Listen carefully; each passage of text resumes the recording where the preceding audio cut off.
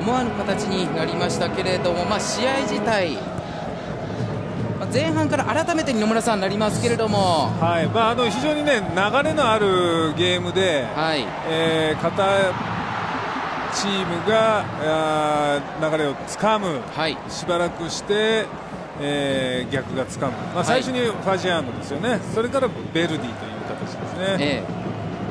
ただ、その後ベルディの方が相手陣内に、まあ、パスをつないで切り込んでいって藤本の今シーズン初ゴールで先制点0対1としました。そうですね、まあ、この後からベルディが落ち着きましたね。はいまあ、ここからなので今、野村さんがおっしゃった自分たちのペースを点を取ったことで取り戻したと。そうですね、はい守備の方も落ち着き取り戻しましたし、まあ、マイボールのところを大事にするという姿勢はねずっとありましたね。はい、そして後半に入って岡山の方が開始早々後半の3分に西洋市から仲間このシュート。そうですね、これあの今、スルーパス出たところからですけど、この前の奪ったところからのテンポのいいえー崩し、非常に良かったですね。はい。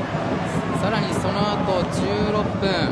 ここは畳みかけたんですけどね。赤峰のヘディング。競もう一度、はこれもうまかったですね、また持ち出してピンポインい、ト。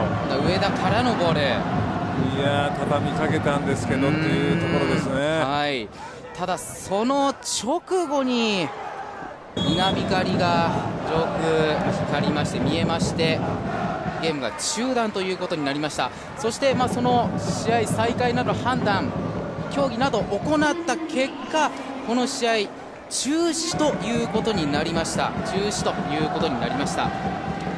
でこの試合についてですが、えー0対1今東京ヴェルディが1点リードそして後半の17分で試合中断。